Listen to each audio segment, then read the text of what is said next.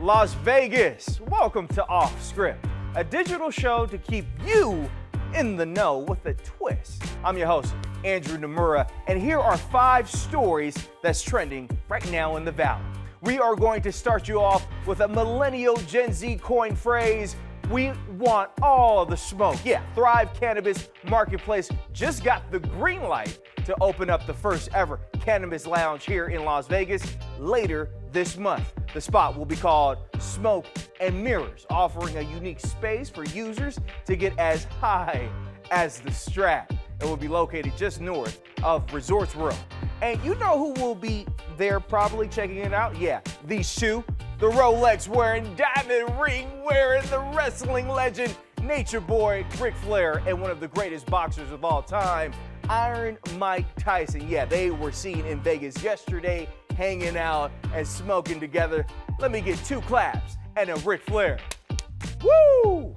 And if you ever want to know how it feels to be John Wick, well, you'll soon be able to do just that. A new immersive entertainment experience based on the action movies is coming to Las Vegas, is going to be at Area 15, packed with interactive actions, theme bars, and guests will be tasked with specific missions.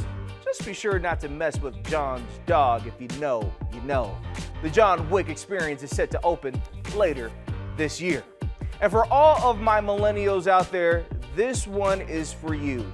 The X-Men are back. Of you all, my X-Men. Fate lies in our hands now.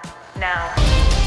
Oh yeah, y'all are watching the new trailer for X-Men 97 that just dropped. This is a reboot of the famous X-Men cartoon that debuted back in 1992. The story continues with what looks to be Professor X passing away and leaving the mission to his students, packed with your favorite characters like Storm, Wolverine, and Cyclops.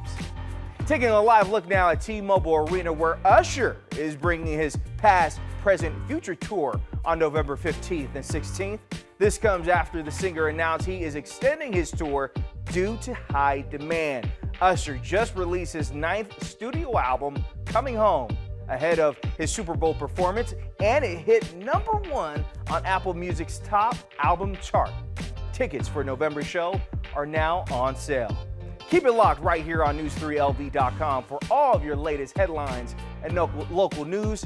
You've just gone off script.